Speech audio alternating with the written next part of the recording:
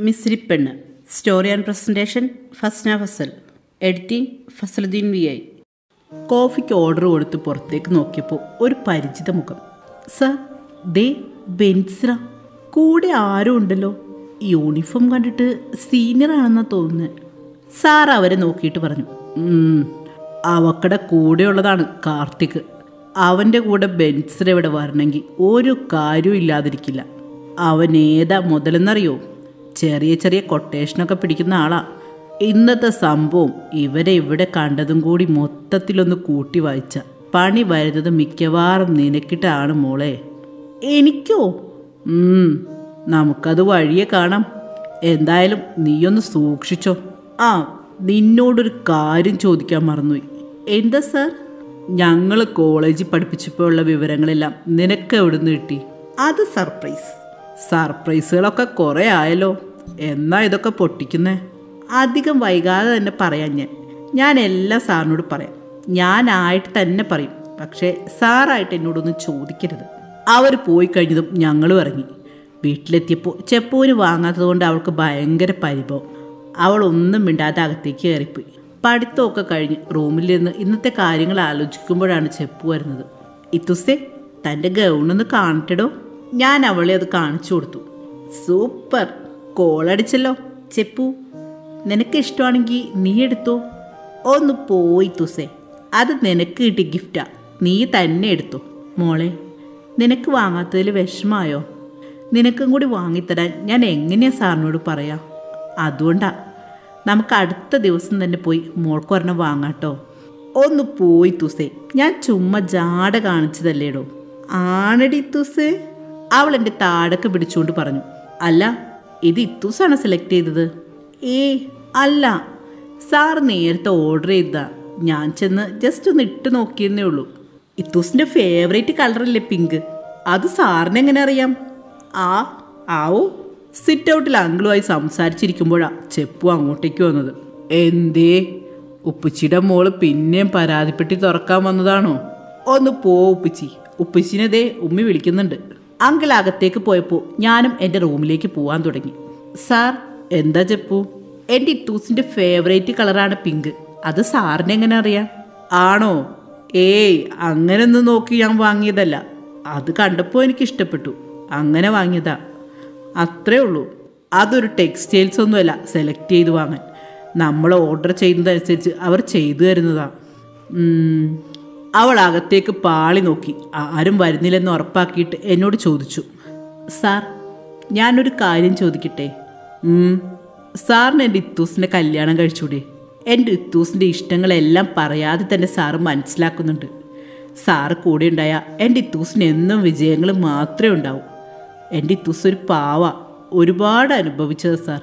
നാണക്കേടും കുറ്റം പറച്ചിലും ഒക്കെ. ഒരു ജന്മം കൊണ്ട് കരഞ്ഞു തീർക്കാവുന്നതിനപ്പുറം ഈ കുറച്ച് കാലം കൊണ്ട് കരഞ്ഞു തീർത്തതാ എന്റെ ഇത്തൂസ്. സാറിനറിയോ എന്റെ ഇത്തൂസ്? ചെപ്പു ഞങ്ങൾ ഒരുമിച്ച് തിരിഞ്ഞു നോക്കി.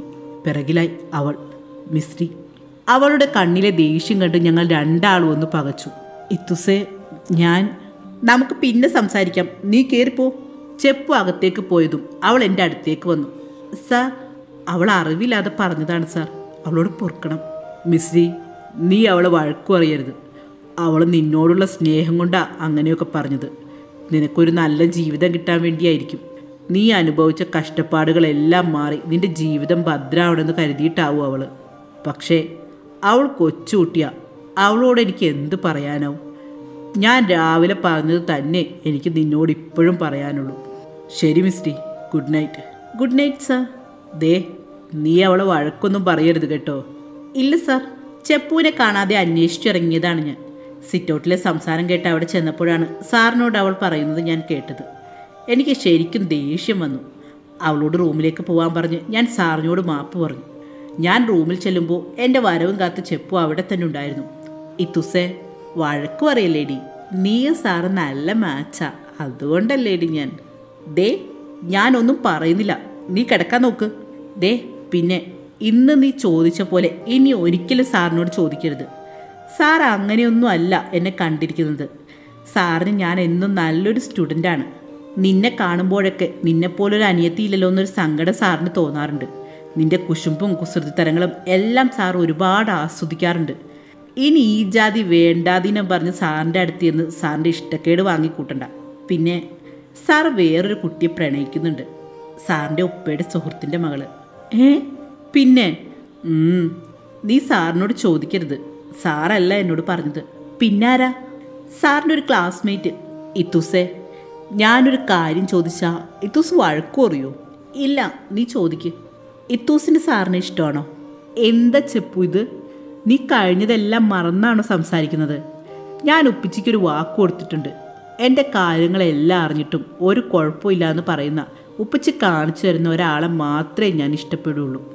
എന്നാ അങ്ങനെ ഉപ്പിച്ച് സാറിനെ കാണിച്ചു തന്നാലോ? അപ്പോൾ എന്തായിരിക്കും തുസ്നു മറുപടി?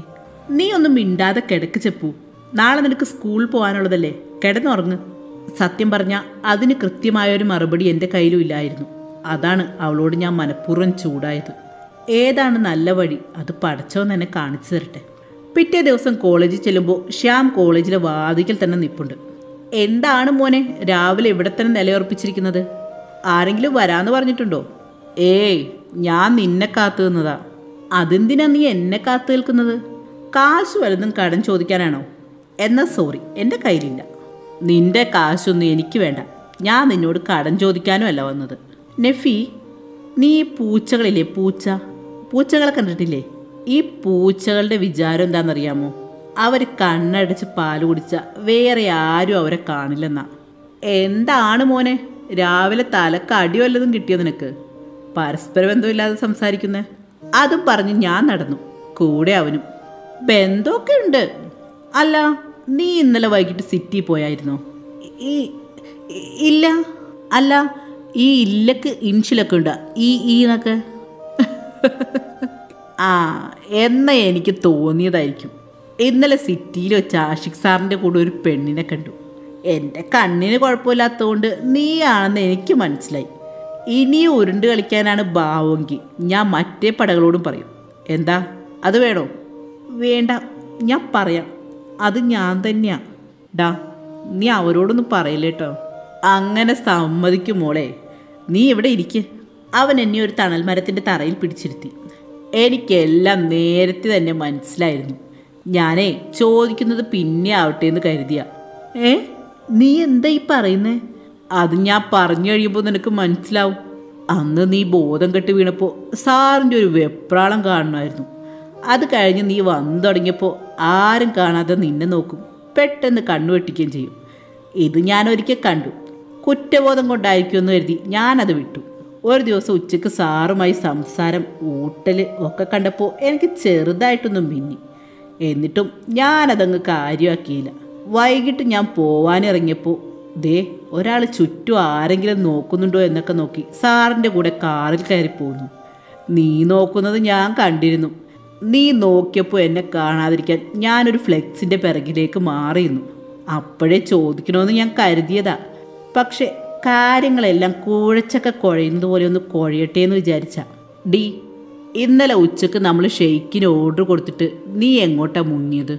വാഷ്റൂമിലോ ഒന്ന് പോടി. നീ എവിടെ പോയതാണെന്നും ആരെ കാണാൻ പോയതാണെന്നും ആര് വിളിച്ചിട്ട് പോയതാണെന്നും എനിക്കറിയാം. ഞാൻ കണ്ടായിരുന്നു. പക്ഷേ നീ കാണാത്ത ഒരു കാഴ്ച കൂടി ഞാൻ കണ്ടു. അതെന്താണെന്നോ? സാർ നിന്നെ അന്വേഷിച്ച് ക്യാന്റീനിൽ വന്നപ്പോൾ കാർത്തിക് നിന്നെ വല്ലാത്തൊരു നോട്ടം നോക്കുന്നതാ കണ്ടത്. സാറ് മുഷ്ടി ചുരുട്ടുന്ന കണ്ടപ്പോൾ ഞാൻ കരുതി തല്ലുവെന്ന്. അവൻ നോക്കുന്നത് ഞാനും കണ്ടു. അത് കണ്ട ആരായാലും തല്ലിപ്പോവും. പിന്നെ വെറുതെ ഒരു സീനുണ്ടാക്കണ്ട എന്ന് കരുതിയ ഞാൻ ഇടപെടാതിരുന്നത്. സാറിന്റെ നിന്റെയും കഥകളിയൊക്കെ ഞാൻ കണ്ടിരുന്നു. സാറ് വിളിച്ചിട്ടാണ് നീ പുറത്തേക്ക് പോയതെന്ന് എനിക്ക് മനസ്സിലായി. ഷെയ്ക്ക് വന്നപ്പോൾ നിന്നെ വിളിക്കാൻ ഞാൻ അവിടെ വന്നിരുന്നു. അപ്പോഴാ വൈകിട്ടത്തെ പ്ലാനും കേട്ടത്. നീ തിരികെ പോരുന്നത് കണ്ട് ഞാനും വേഗം പോന്നു. വൈകിട്ട് നീ എന്നെ എങ്ങനെ ഒഴിവാക്കുമെന്ന് കാണാൻ വേണ്ടി തന്നെയാ ഞാൻ നിന്റെ കൂടെ കൂടിയത്.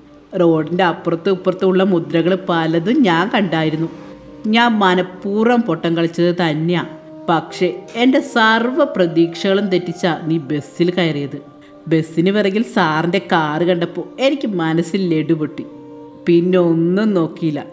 ബൈക്കും എടുത്ത് കാറിന്റെ പിറകിൽ തന്നെ ഞാനും ഉണ്ടായിരുന്നു.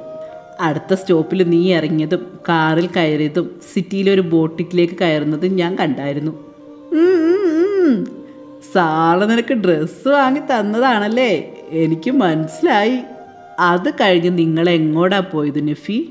എല്ലാം നീ തന്നെയല്ലേ പറയുന്നത് പിന്നെന്തിനാ എന്നോട് ചോദിക്കുന്നത് ഇതും നീ തന്നെ അങ്ങ് പറ. നിങ്ങൾ കോഫി ഷോപ്പിൽ കയറുന്നത് ഞാൻ കണ്ടു. നിങ്ങളെ വീട് വരെ ഒരു ഡിസ്റ്റൻസ് ഇട്ട് ഞാൻ ഫോളോ ചെയ്തിരുന്നു. നിങ്ങളെ അറിഞ്ഞില്ലെന്ന് മാത്രം. തെണ്ടി. ഓ സാറിനെ ഒന്ന് പ്രൊപ്പോസ് ചെയ്യാൻ പറഞ്ഞപ്പോൾ എന്തായിരുന്നു അഭിനയം? ഞാൻ ഭയങ്കര ഡീസന്റാണ് ഞാൻ പെണ്ണല്ലേ. എന്നെ തല്ലും. ഞാൻ പച്ചവെള്ളം ചവച്ചേ കുടിക്കൂ. എല്ലാം വെള്ളത്തിൽ വരച്ച വര പോലെ ആയില്ലേ മോളെ? നിങ്ങളുടെ ഈ ടോമാഞ്ചറി കളി കണ്ടിട്ട് തന്നെയാ നിന്നോട് സാറിനെ പ്രപ്പോസ് ചെയ്യാൻ ഞാൻ പറഞ്ഞത്.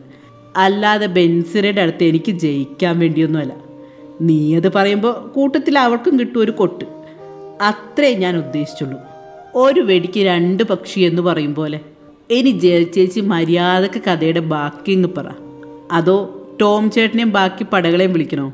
ഏയ് വേണ്ട. ഞാൻ പറയാം തുടരും.